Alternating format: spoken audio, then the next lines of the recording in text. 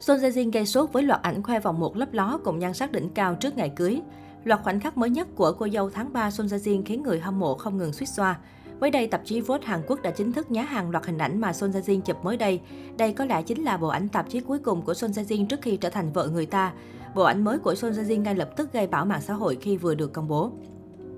Khác với phong cách dịu dàng trước đó, bà xã tương lai của Huyên Bin trong bộ ảnh này được nhận xét là cực kỳ thần thái và quyến rũ. Dù không hề trang điểm đậm hay cầu kỳ nhưng thần thái cùng biểu cảm quân ngầu vẫn giúp cho bộ ảnh của Son Ye Jin thêm phần cuốn hút hơn. Thậm chí trong một số bức hình, Son Ye Jin còn gây sốt với màn khoe vòng một lấp ló cùng thân hình nuột nà. Thế nhưng nhiều người cũng nhận xét rằng dường như Son Ye-jin gần đây trông có phần gầy đi, cánh tay của Son Ye-jin được cho rằng gầy và nhỏ đi khá nhiều so với trước. Dù có gầy đi đôi chút nhưng điều này cũng không hề làm ảnh hưởng tới nhan sắc xinh đẹp bất biến của Son Jae Jin.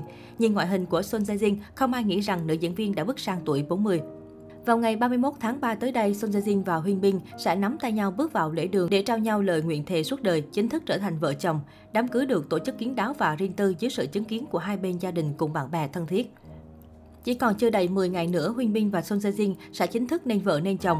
Siêu đám cưới của cặp đôi sẽ được tổ chức tại khu Aston House của khách sạn Sheraton Grand Quarter Hill sang chảnh, tọa lạc tại quận Kwanjin, Seoul. Khách sạn Sheraton Grand Quarter Hill là một trong những địa điểm tổ chức hôn lễ lý tưởng được nhiều sao hàng chọn mặt cưới vàng.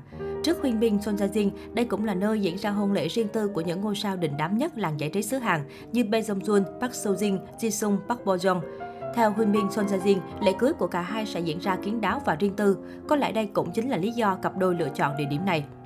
Những vị khách mời đặc biệt của cặp đôi cũng đã dần lộ diện. Vừa qua, tờ Sport Đông A đưa tin độc quyền rằng tài tử Jang Dong Won sẽ đọc bài phát biểu chúc mừng tại đám cưới thế kỷ của cặp đôi hạ cánh nơi Anh. Mặc dù cách nhau đến 10 tuổi nhưng Jang Dong Won và Huyên Bin đã là bạn thân trong suốt 17 năm qua. Họ có nhiều sở thích chung như chơi golf và bóng chày.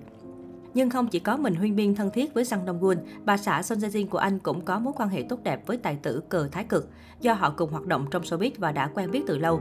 Bên cạnh đó, biên kịch Park Ji Eun của bộ phim Hạ cánh nơi Anh cũng được mời tới dự hôn lễ. Đây chính là tác phẩm sa duyên cho Huyên Bin và Son Jae Jin. Được biết, siêu đám cưới của cặp đôi quyền lực xứ Hàn được tổ chức riêng tư và chỉ có khoảng 200 khách mời là người trong gia đình, bạn bè thân thiết tham dự. Cuối năm 2019, Huyên Bin và Son Jae Jin hợp tác trong bộ phim truyền hình Hạ cánh nơi Anh. Bộ phim gây sốt màn ảnh châu Á mang lại danh tiếng cho Huyên Bin và Son Jae Jin. Chương tình tiểu thư tài phiệt người Hàn Quốc và đại úy người Bắc Triều Tiên được nhiều người ví như câu chuyện Romeo và Juliet thời hiện đại. Từ trong phim cho tới hậu trường, cặp đôi luôn dành cho đối phương sự chăm sóc đặc biệt khiến người hâm mộ tin vào mối tình phim giả tình thật. Kể từ sau thành công của Hạ cánh nơi Anh, Huyên Binh và Son Jae Jin xuất hiện cùng nhau thường xuyên hơn. Từ các hợp đồng quảng cáo cho tới sự kiện thảm đỏ, cả hai đều thể hiện tình tứ, khiến tin đồn hẹn hò ngày một lớn.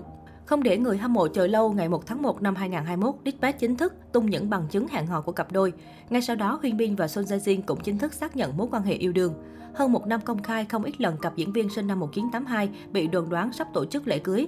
Việt Nam tài tử khu vườn bí mật sắm một căn hộ penthouse đắt đỏ, nữ diễn viên vô tình ấn theo dõi một nhiếp ảnh gia chuyên chụp ảnh cưới, khiến người hâm mộ càng thêm chắc chắn về cuộc tình này. Đầu tháng 2 năm 2022, cả mạng xã hội bùng nổ khi cặp đôi chính thức thông báo về việc kết hôn bằng bức tâm thư dài. Theo đó, Huyên Minh và Son Jae Jin đều cho biết mối quan hệ hiện tại rất tốt đẹp. Cả hai xem nhau như định mệnh và quyết định tiến tới hôn nhân sau thời gian dài tìm hiểu.